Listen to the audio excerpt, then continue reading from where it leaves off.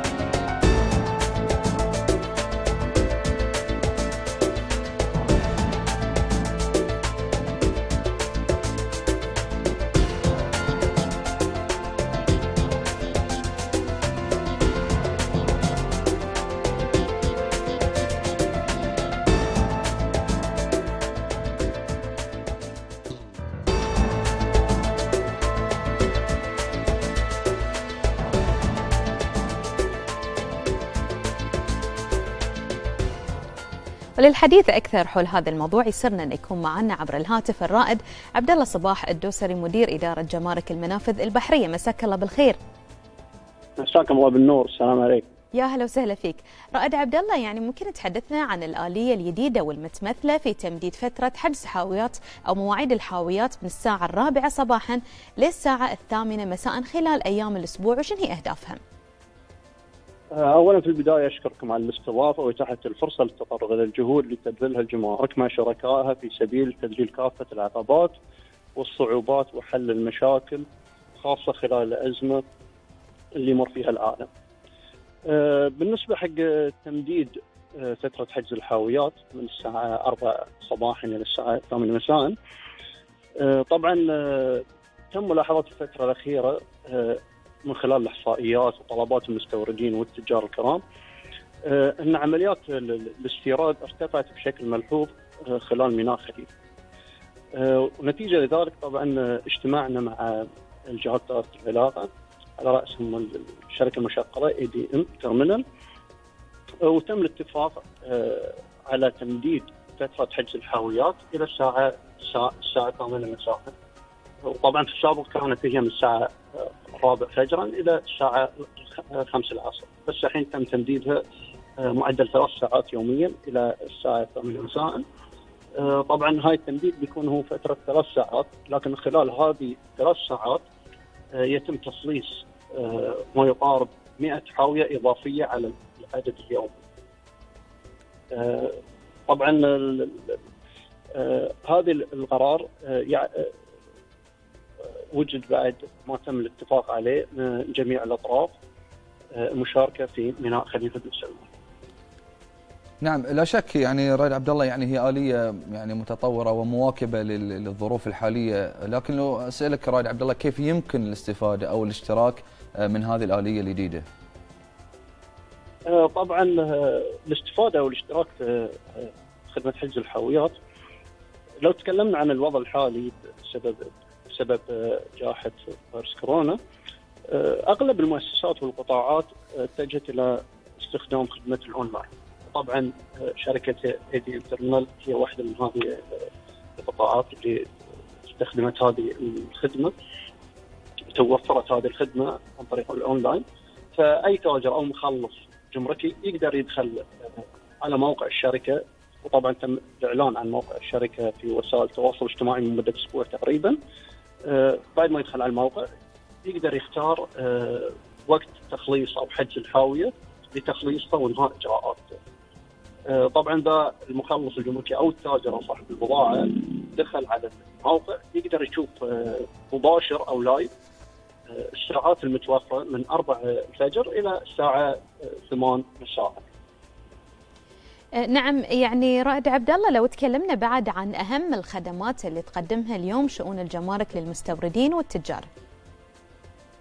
أه، لو بنتكلم عن الخدمات اللي تقدمها شؤون الجمارك هناك أه، العديد من الخدمات اللي توفرها نقدر نرجع حق هاي الخدمات في القرار رقم 80 سنة 2017 القرار يشمل على قائمة فيها أكثر من 40 خدمة توفرها شؤون الجمارك. آه، طبعا هاي الخدمات مش محصورة فقط حق ميناء خليفه بل حق المنافذ الجمركية.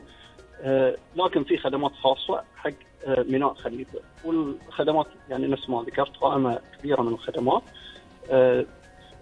يقدرون يستفيدون منها التجار والمخلصين من خلال الإيميل أو الدخول حق موقع الجمارك مثل باقي آه، القطاعات اللي نوفر خدمات أونلاين.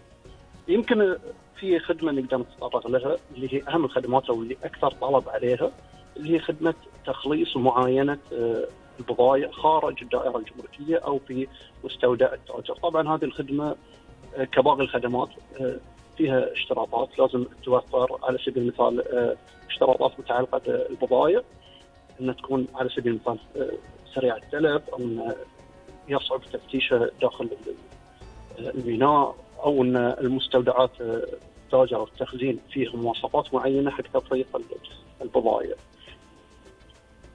نعم رائد عبد الله ما هي مجالات العمل والتعاون مع شركة APM Terminals في تسخير آه، كل الإمكانيات اللي آه، من شأنها أن تذلل الصعوبات وتسهل الاجراءات الجمركية في ميناء خليفة بن سلمان؟ آه، طبعا التعاون مع شركة ابيان تيرمينال آه، بغض النظر عن الوضع الحالي لجائحه كورونا آه، في تعاون دائم مستمر. في أمور تنسيقية، في أمور تطويرية، في أمور إجرائية، كل هذه الأمور يعني تكون فيها اجتماعات وتنسيقات دائمة بشكل دوري ومستمر مع الشركة آه، المشغلة. آه، وفي تواصل دائم تقريبا يوميا يعني عندنا تواصل مع الشركة المشغلة حق هذه الأمور أو حل أو حل أي إشكاليات آه، تواجه عمليات الاستيراد والتصدير في ميناء خليفه وطبعا ما نغفل دور إخوان في وزارة المواصلات مشكورين في تنسيق هذه الأمور مع شركة اي بي ترمينال. نعم طبعا جهود كبيرة تقومون فيها رائد عبد الله خاصة يعني خلال هذه الظروف الاستثنائية لكن لو طلبنا منك كلمة أخيرة توجهها من خلال البرنامج. آه، اولا مشكورين الاستضافة، آه، ثانيا آه، جهود مستمرة بين كل الأطراف في ميناء خليفة لتطوير الإجراءات وتسهيل إجراءات وعمليات الاستيراد والتصدير ورفع كفاءة الميناء عشان يستمر كأفضل موانئ أفضل موانئ المنطقة. لو تكلمنا عن تمديد ساعات حجز الحاويات يعني أنا احث الإخوان التجار الكرام والمستوردين والمخلصين الجمركيين أن يستغلون أه، ساعات التمديد هذه أه، الساعات المسائيه في حجز أو تخليص بضائعهم خلال هذه الساعات الإضافية بدلا من الضغط في وقت الفترة الصباحية خاصه ان الحين فترة الصيف الجو حار استغلال الفترات المسائيه بدل الضغط الفترة الصباحية. نعم الله يعطيكم الصحة والعافية الرائد عبد الله الصباح الدوسري مدير إدارة جمارك المنافذ البحرية شكرا جزيلا لك.